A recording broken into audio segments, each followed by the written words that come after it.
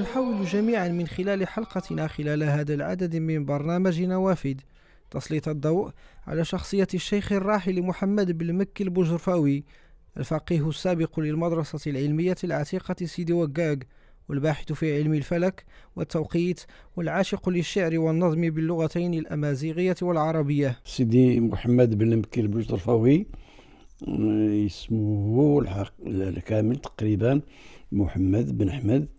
بن عبد الله بن أحمد النجار البوجدرفاوي هذه الأسرة هذه جات إلى أقلو ماشي جلاوية هي بعمرانية من بوقرفة البوجدرفاوي جات جا جدهم مولاي أحمد النجار إلى أقلو وشارت وشارت في المدرسة الوقاقية آه، يعني سنوات والمختار السوسي قال وهو الذي أصل فيه أصل فيها القراءات مع بعض مع مع تدريس بعض الفنون العلمية في المدرسة الوقاقية المهم بقى هنايا وتناسل هنا وسكن واستقر.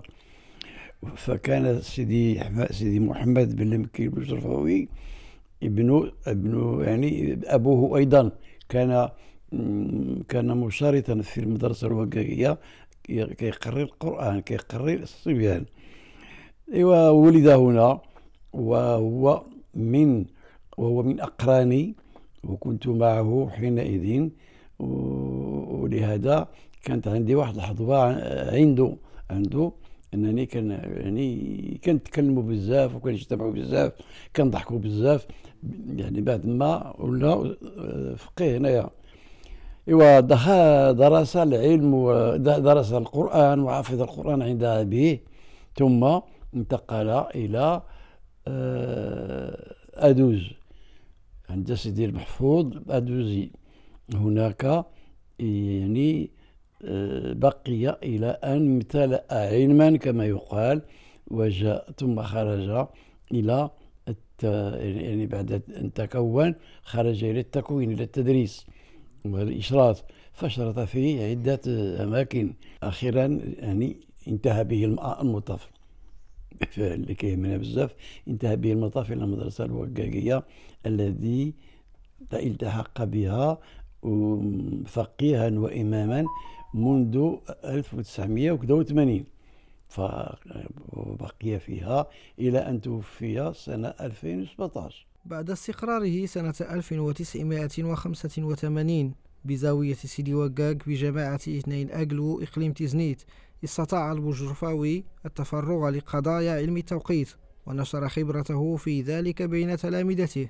اكتسبوا من خلالها تجربة كبيرة في ضبط وتبسيط رسم الأوقات واحتساب الظلال مع إشرافه على أبحاث علمية رائدة في ميدان علم الفلك. كيحكي لي أن آه، ان قصته مع علم الفلك. ما كانش كيدرس ما كانش كيهتم بعلم الفلك ولا كيتعطى ملي كان في فادوز وملي خرج وكيقري قبل ما يجي لهنايا لأقلو. سرعان ما يعني يلتقى أو يصطدم ببعض القضايا في علم التوقيت فاستفزته وقام ب فآل على نفسه أن يدرس هذا العلم. فاشتغل بدراسته تلقائيا يعني عصاميا. وكان كيمشي حتى لعند عبد الرازق في مراكش. وكيمشي عند الأخراني الرمساني في الرباط. هادو كلهم أقطاب ديال علم الفلاك ديال علم التوقيت كان كيمشي لعندهم. وكي وكياخذ منهم وكيجي وكيجي لعندو. وكون هنايا مدرسة وتلاميذ ديالو في علم الفلك. آه، اكتفى بتدريس علم التوقيت في مدرسة في مدرسة أقلو اكتفى بدراسة علم التوقيت مجموعة من التلاميذ لا يفارقونه ويشتغل معهم حيثما وجدوه وحيثما وجدهم. يمكن تلقى في, على برا يمكن تلقى في, في, في المجلس يمكن تلقى في, في, في قاعة الصلاة أو أي قاعة من القاعات وكيتكلموا كيهضروا على علم التوقيت